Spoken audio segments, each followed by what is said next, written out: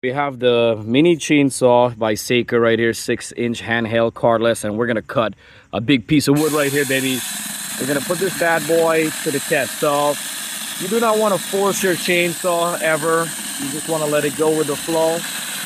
And you can see how powerful this thing is. Don't forget to like, subscribe for more video, baby. Beast, completely beast. Beast is just a monster.